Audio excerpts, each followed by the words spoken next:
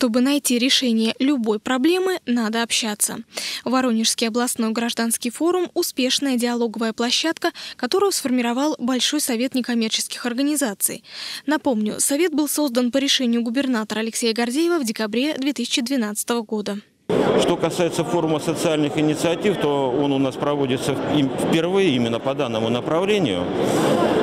Потому что мы в своей работе в течение этого года определили, что одним из приоритетных направлений Большого Совета НКО является именно развитие социальных инициатив. Потому что практически все а, некоммерческие организации, гражданские сообщества, местные сообщества, они у нас а, реализуют какие-то социальные проекты.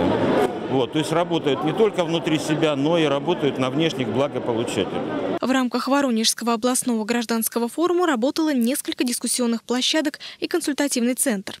А проблемы взаимодействия СМИ и некоммерческих организаций обсудили за круглым столом.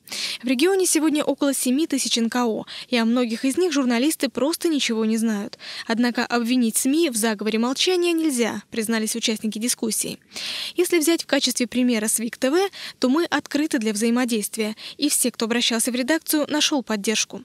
Беда некоммерческих некоммерческих организаций в том, что после регистрации они себя никак не проявляют и не создают информационные поводы, интересные для СМИ.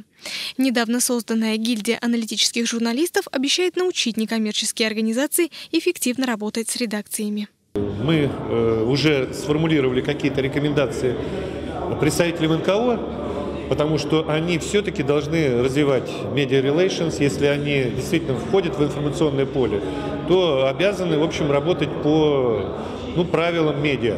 Это первое. Что касается средств массовой информации, тоже им было также рекомендовано э, не э, проходить мимо информационных поводов, которые создают э, те же НКО, а их, оказывается, у нас в Воронежской области зарегистрировано 3000. То есть не ограничиваться пресс-релизами. Да? Пресс-релиз должен стать для журналистов просто ну, э, поводом для командировки, для э, выезда на место, для расследования там, и так далее, и так далее. Вот то есть это э, вопрос вот такого э, профессионального посредничества, я так думаю, потому что э, в данном случае цели и задачи совпадают, да, но необходимо э, вот э, найти точки соприкосновения это, э, эту задачу вот видит в том числе и гильдия аналитических журналистов.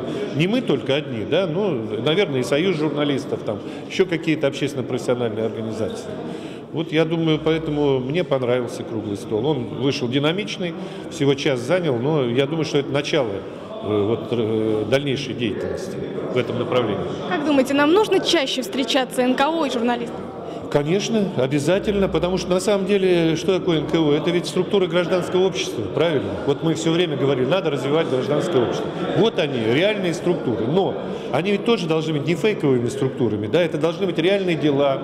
Э, вот. Э, с другой стороны, у нас очень много интересных проектов, о которых не знают. Вот здесь нужно с двух сторон идти навстречу друг другу. Ну и думать, что вообще все это мы делаем для аудитории, для общества, для горожан, для э, жителей области, страны и так далее.